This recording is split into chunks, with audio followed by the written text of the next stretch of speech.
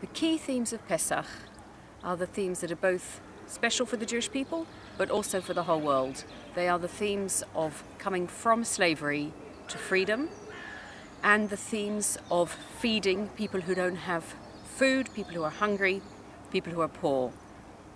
So these themes of release from slavery are just as true today as they were in the time of Egypt, of the time of the Exodus, because unfortunately we still have slave, sex slaves, uh, slaves from uh, war, including very young children who are soldiers, who are enslaved. Um, so the theme of slavery continues. I'd love it if it had gone. And also the theme of poverty. We start the Seder, the reading, when we sit in families and friends and read by saying Ha Lachma Anya.